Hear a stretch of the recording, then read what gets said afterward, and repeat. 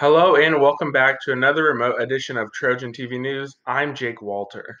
Impact testing is scheduled for the following dates in room 110. Students, please bring your laptop and sign consent form.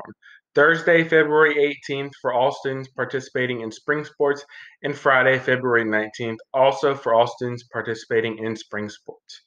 The Park Hill Trojans 10th grade boys basketball tournament hosted at William Chrisman High School has been canceled for tonight.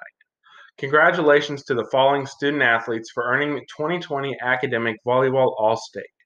Kristen Birmingham, Eiley Iono, Hannah Graves, Megan Hoover, Aisha Iono, Shay Koski, Emily Pella, and Sydney Stanfield.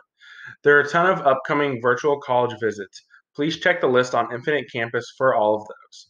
Student of the Day today is Brooke Manton, nominated by Mr. Reese for having one of the finest, most organized planners in the AVID College Prep course. Congratulations.